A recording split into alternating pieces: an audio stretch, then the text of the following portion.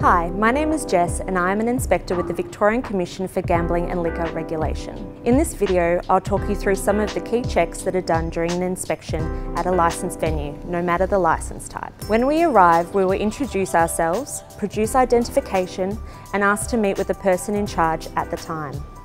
You will notice throughout the inspection we will be taking notes, which is standard practice. We will check that you have a current liquor licence on display somewhere that can be seen by everyone.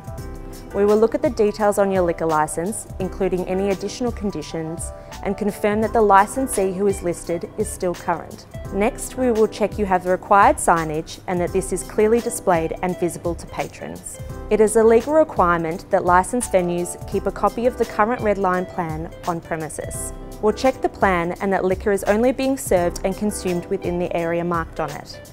This generally includes any outdoor areas. A red line plan will only be accepted if it has the VCGLR stamp to show it is the approved copy.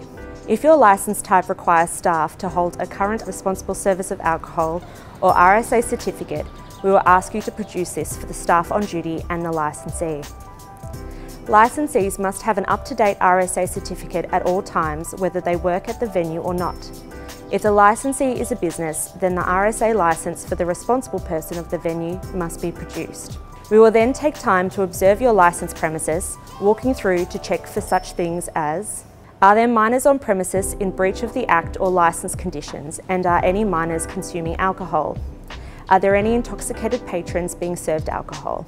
And are there any drunk patrons in your venue? For restaurant and cafe licence holders, we will also check that the predominant activity at all times is the preparation and serving of meals, if we are inspecting a sporting or community club, we will also check your members register and guest register.